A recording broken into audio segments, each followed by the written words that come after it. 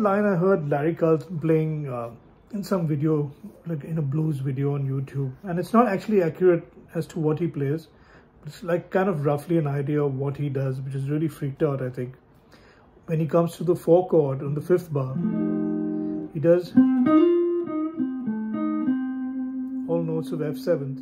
And then he plays his blues lick, which he takes up a minor third going to F.